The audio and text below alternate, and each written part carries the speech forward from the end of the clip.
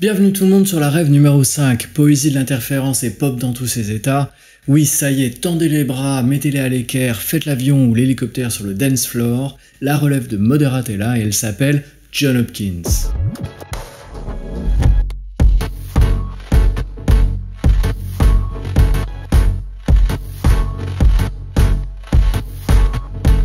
Alors Hopkins est un pianiste de formation et pas un petit pianiste, il a été admis au Royal College of Music de Londres une école prestigieuse qui a formé nombre de chefs d'orchestre et de musiciens classiques.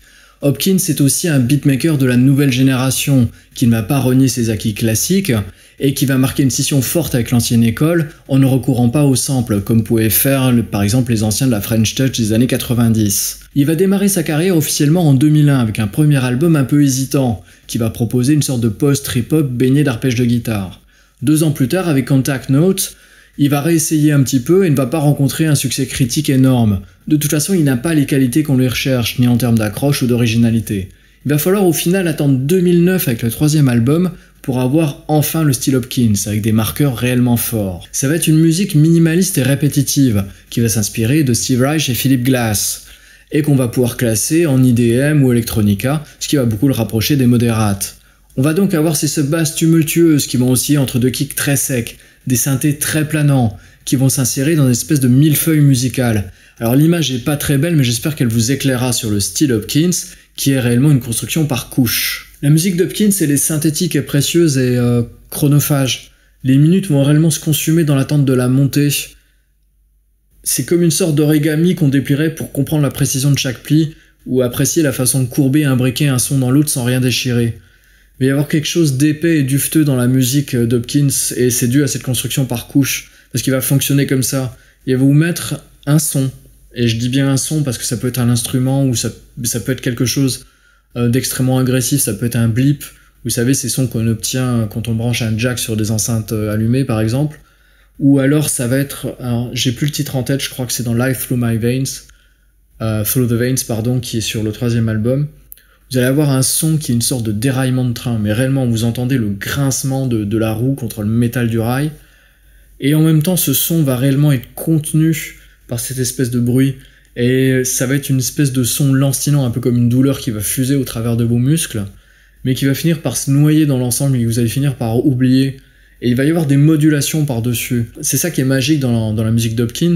C'est une musique répétitive, mais c'est souvent des, boîtes des boîtes à musique hypnotique avec des sons très cristallins qui font écho à eux-mêmes. Ce qui fait que vous allez avoir une espèce de construction d'un rythme. J'appelle ça un rythme par trébuchement. Le... Vous faites trois pas et vous trébuchez. Et vous manquez de vous ramasser, vous refaites trois pas et vous allez retrébucher.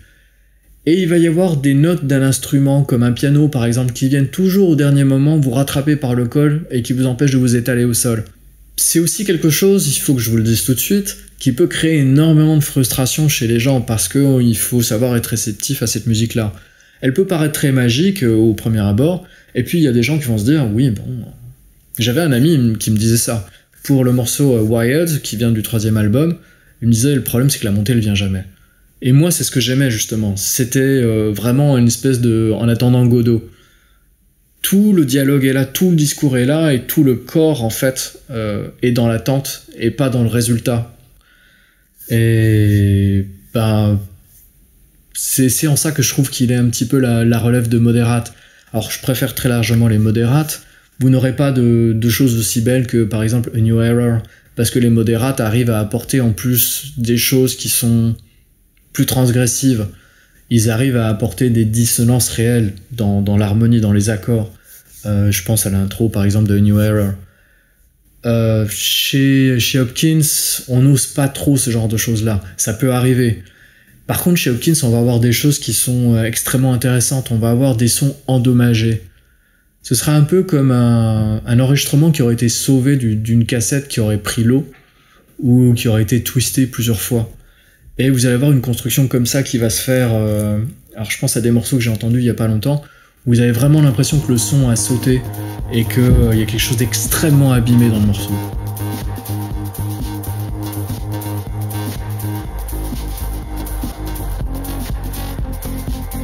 Et j'ai mon connard de voisin qui fait du bruit évidemment. Et comme je vous le dis, vous allez avoir réellement une reprise des, gimmicks, que ce soit des moderates ou des modes selector.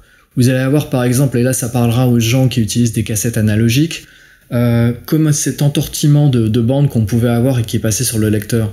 Vous aviez donc un son qui passé en arrière et qui repassait en avant derrière. Et les modes sélecteurs font souvent ça. Leurs kicks sont inversés, mais la traîne par contre, elle, passe dans le bon sens. Bon, c'est un peu compliqué, je vais pas rentrer dans les détails. Vous allez avoir ce genre d'aberrations sonores qui vont être utilisées, ou alors des buzz, comme j'ai dit tout à l'heure, qui vont toujours être utilisés sur le mode du, rythme organique déséquilibré.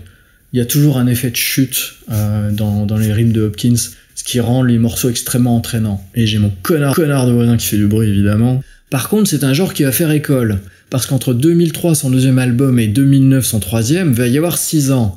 6 ans qu'ils ne vont pas rester inoccupés. Il va rencontrer Brian Eno par le biais d'un ami, Eno va l'emmener voir les Coldplay, et à cette époque, ils sont en train de faire Viva la Vida. Ça va tellement bien se passer en studio que Hopkins va être coproducteur de l'album, et il va marquer cet album de sa patte.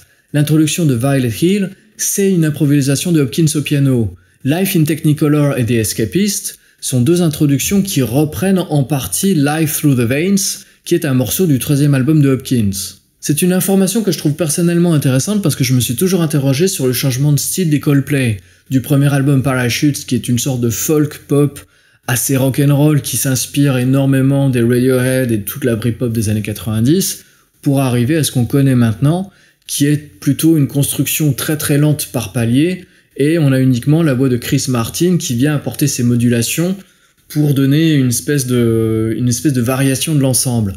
Euh, maintenant que je sais qu'il y a une partie du travail de Hopkins chez les Coldplay, je comprends mieux.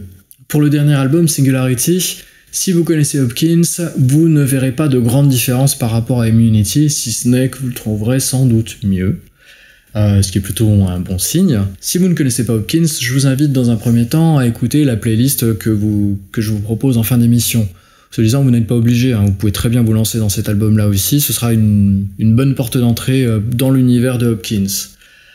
Euh, cet album se construit sous forme de diptyque. Vous allez avoir les quatre premiers morceaux environ, je crois que c'est ça, qui sont plus taillés euh, pour le concert, pour le dance floor. On comprend ce qu'on entend par dance floor chez Hopkins.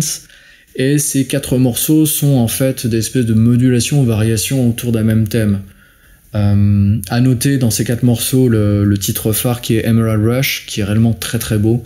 Vous allez avoir ce kick très synthétique une espèce de pop comme ça, mais qui est très contenu en même temps par la compression, euh, qui donnerait presque un rythme techno, sauf que tout l'habillage sonore est, extrêmement lent autour. Et donc ça vous donne quelque chose qui est en même temps à cette rythmique très soutenue, mais qui est très apaisé et qui, est très très porteur et qui, qui... c'est un morceau qui est fait pour rêver, qui a une dimension cinématique. Les morceaux qui vont suivre sont beaucoup plus calmes, à part un qui a l'air de s'être perdu dans, l'avant-dernier qui a réellement l'air de s'être perdu dedans. Et là, vous allez avoir des morceaux qui sont souvent joués au piano, euh, qui font appel à de nombreuses ambiances. Et on peut noter par exemple, euh, alors Recovery, le tout dernier, m'a réellement marqué parce qu'il est joué à la façon d'un carillon porté par le vent. Vous savez, euh, ces, ces espèces de carillons qu'on accroche à l'entrée des portes, et c'est réellement ça. Alors, on, on tout de suite, il faut le savoir, la musique d'Hopkins, elle a un petit côté un peu New Age, dont il n'arrive pas à se détacher. C'est vraiment la seule grosse critique que moi je lui ferais, parce que ce problème de tension dans la montée, moi ça ne me dérange pas, au contraire j'aime ça. mais c'est vrai que parfois on peut retrouver des, espèces d'air New Age post-2000. Bon, voilà, c'est pour ça que je ne vous invite pas d'ailleurs à écouter les deux premiers albums et à passer directement au troisième, qui à mon avis, eux, expriment réellement euh, ses intentions musicales. Je n'ai pas abordé les paroles chez Hopkins parce que tout simplement il n'y en a pas, on est réellement sur de la musique instrumentale. Vous allez avoir une voix sur Emerald Rush justement, mais c'est une voix qui va servir encore une fois de mélodie. Elle n'est utilisée que pour donner une tonalité au morceau. elle est très très dans le fond, elle, est... elle a cette dimension encore une fois cinématique, onirique, euh, qu'on aime chez Hopkins.